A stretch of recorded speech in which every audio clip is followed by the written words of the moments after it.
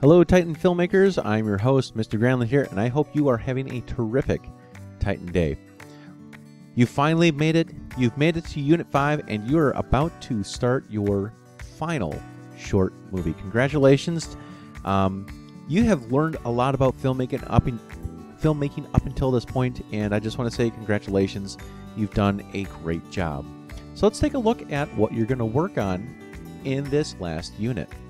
So the first one is our short film script. Now you're going to recognize this worksheet because it is, yes, the exact same one that we did for the Triangle Coverage Project. Clicking on the script worksheet, the difference in this, you are going to do all the things that good filmmakers do. You're going to write the character's name. You're going to have uh, the correct formatting for this. You're going to get that add-on for your Google Documents and you're going to get the screenplay formatter. And you're going to launch that and you're going to make sure that you have action lines and you have dialogue lines and I don't know why it's now in Spanish, but um, you're going to set your margins and your titles and your parentheticals and actions and everything like that um, according to how you should write a script. In addition, this script should be 100% unique, original. So this is your movie that you've created from the ground up. Now people always ask me, does my short film have to have talking? The answer is no, it does not.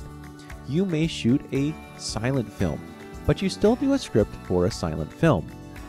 Now instead of having characters and dialogue there, you're primarily going to have character names, but then actions. You're going to be doing actions, a lot of actions with a silent film.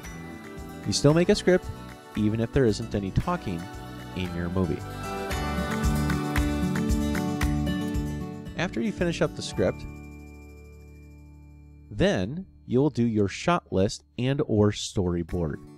Now I have included another template that you might recognize, another worksheet that you might recognize. And yes, it is the shot list one. I particularly like the shot list uh, worksheet, uh, but you can also do a storyboard. Again, just like how we did the shot list for the walking video, the same way that you do the shot list for here. Type in the title of your movie. You are the director, so put your name there. And then you're going to go ahead and fill out this information you might need more than 25 shots. Your movie is going to be between 3 and 10 minutes. Or, yes, 3 and 10 minutes. So, there's a good chance that you'll use more than 25 shots. And then once you have all those planning documents done, you're going to take a look at making your movie. You're going to grind it out, maybe get some actors together, who knows? But you're going to make your movie and I'm excited to watch that. Now, some helpful resources that I had put down into the Unit 5, uh, Week 11 and 12 area are these movies here. Now, this is a silent film, uh, but all of these were filmed with just one person. Now, you'll have to get creative, and you can have other people join into your film and use them um, as actors or extras or camera people, whatever. Uh, you can absolutely have more people work on your film.